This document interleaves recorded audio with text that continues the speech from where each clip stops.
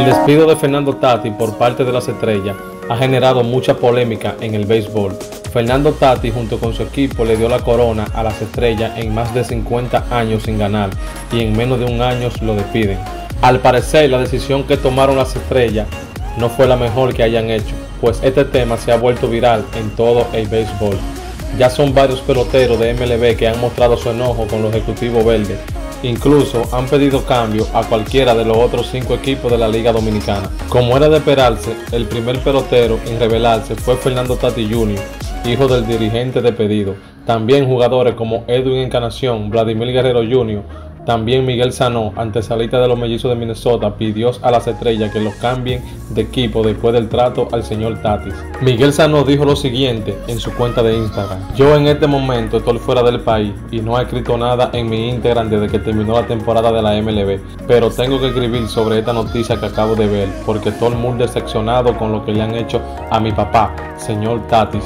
Un equipo que no ha ganado en más de 50 años un campeonato y con Dios y Tati en su primer año pudimos lograr esa alegría a mi pueblo San Pedro de Macorís. Increíble, pero yo jamás pisaré el play Tetelo Valga con uniforme o más para apoyar el equipo. Me pueden cambiar o y mi anillo me lo mandan a mi casa.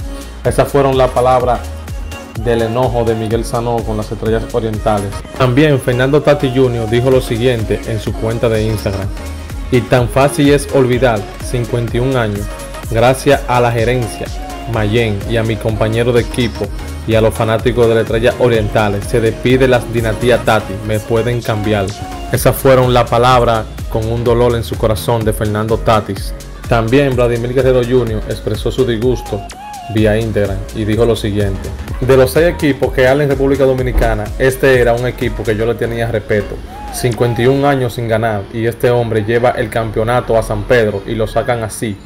Desde ahora no tienen mi respeto, dijo Vladimir Guerrero Jr. También Edwin Encarnación, de 36 años de edad, aunque no juega en la pelota invernal desde 2011, pertenece a las Águilas Ibaeñas y no descarta jugar este invierno, por lo que invitó a Fernando Tati Jr. a vestirse del equipo emplumado para jugar juntos.